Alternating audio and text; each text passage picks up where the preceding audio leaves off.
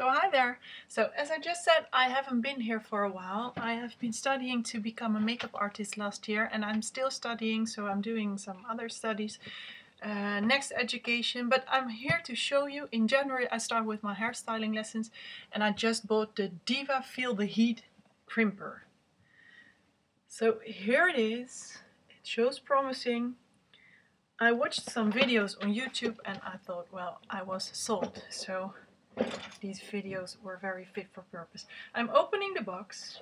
So this was the top of the box. And it looks like this on the inside.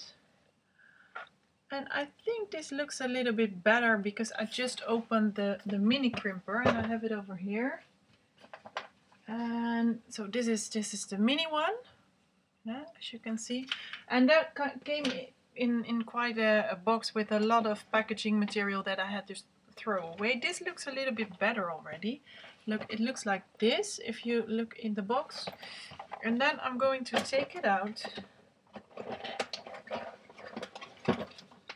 And watch what it will look like in real because yeah, on the video it's always different than when you see it and touch it in real life just being a little bit clumsy over here, but taking it out. And I think, just as with the mini crimper that I just unboxed, this one has a, I believe this is a UK plug as well.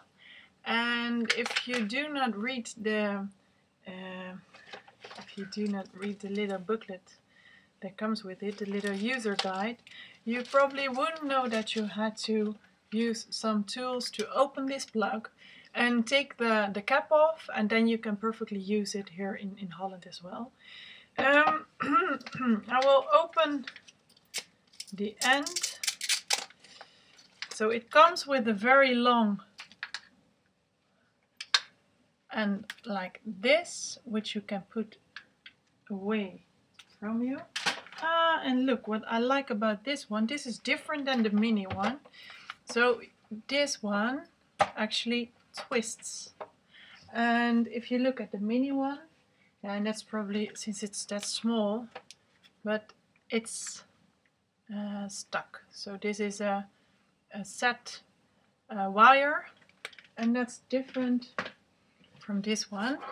So this one is really turning. And also if you look at the other differences, yeah, the, the, the logo or the, the text on top is a little bit different. So this says feel the heat, um, intelligent digital crimper.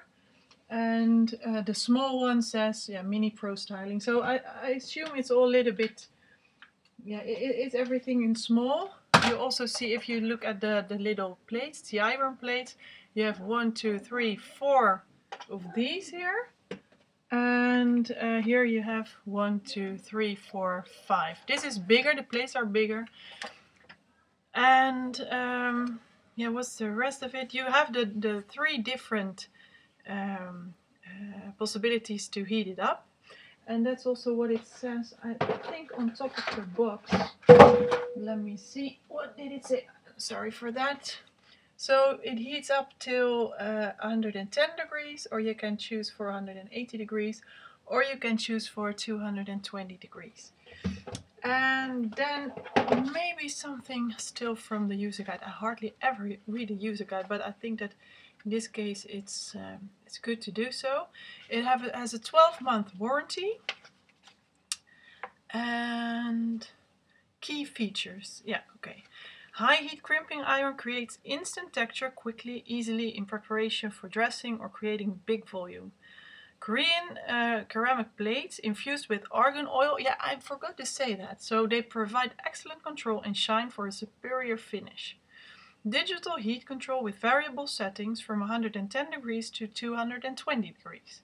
Heat up time is uh, 10 seconds to 110 degrees, 30 seconds to 180 degrees, and a, a, special artificial hair setting is for it is the 110 degrees so whenever you have hair extensions it might not be that good if you choose for the 180 degrees or 220 degrees uh, settings because you might ruin your extensions and then you might want to opt for the 110 degrees Deep floating plates for a consistent and rapid professional finish.